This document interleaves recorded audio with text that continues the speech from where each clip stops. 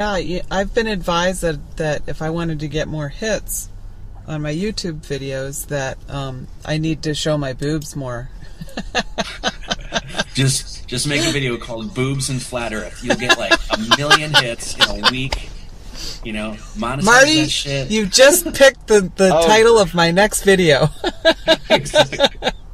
Over And the I'm not- horizon. You know, hey Marty. On the serious side, I uh, I, I took a look a couple of times, or attempt to uh, take a look at flat Earth on, on air for myself. Uh, Well, we covered we covered uh, flat Earth, New World Order, boobs, and cannabis. What else we got? what else? I think we covered it. I think we can shut this show down. I think we're good. And don't forget the new Problem word from. solved. Um, not really. You know, I you know uh, since we talked about boobs so much, I was a bartender for a long time, and this this one old guy came up to me and said, "It was I'll never forget this." He said, "Drinks are like boobs. One is not enough, and three's too many."